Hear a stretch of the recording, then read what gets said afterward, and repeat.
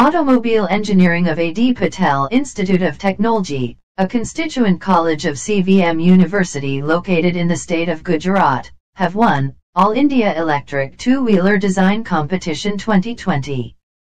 The task was to design an innovative and electric two-wheeler, where 101 teams across the country have participated in this national level competition, which was organized by SAE India Southern Section. Team Adway from Automobile Engineering, ADIT secured first rank in overall performance as well as in best design.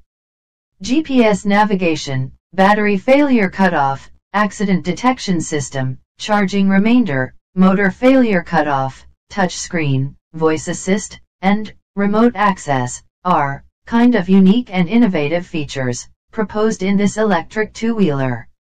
Team Captain Kishan Joshi along with a team of 10 young engineering students, Hardik, Sunny, Jaivik, Harsh, Amartya, Meet, Hardik Nakrani, Satish and Hemansu were putting their best efforts since last one year for this project. Not only technical knowledge and commitment, but passion towards the project work, made them national champions.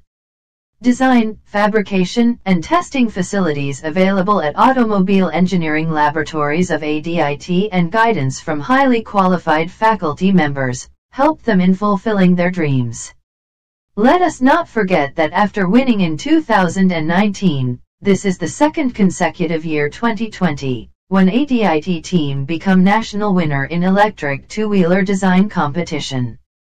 To participate and to win is the hobby and habit of ADITians, as innovation is fun at ADIT.